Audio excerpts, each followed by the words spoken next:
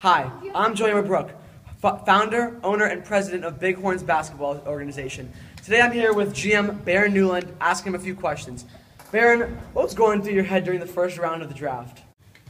Well, Joey, it was a tough decision. We were really torn between Potts and Atterbury. They're very similar, you know.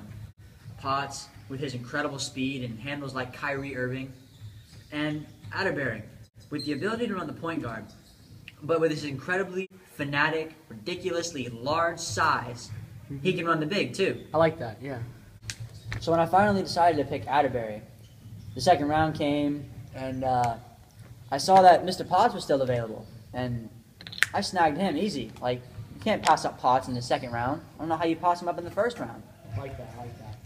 Baron, could you tell me a little bit about um, the pick of John Lembo? Tell me about what was going through your head once, uh, once that round came up. Ah, Mr. Lembo. I was very pleased to uh, see him in the eighth and the last round of the draft.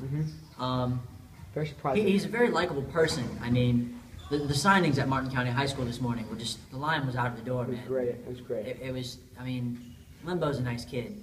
Um, it, I was very um, happy to see that he signed up and uh, came from the Z League came up here in the Martin County Basketball League. It's great. Um, glad to have him. He's gonna be the next James Harden, sixth man of the year. All right.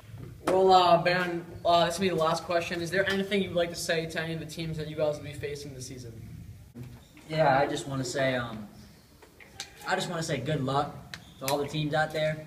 You're gonna need it when you play against us. Horns up.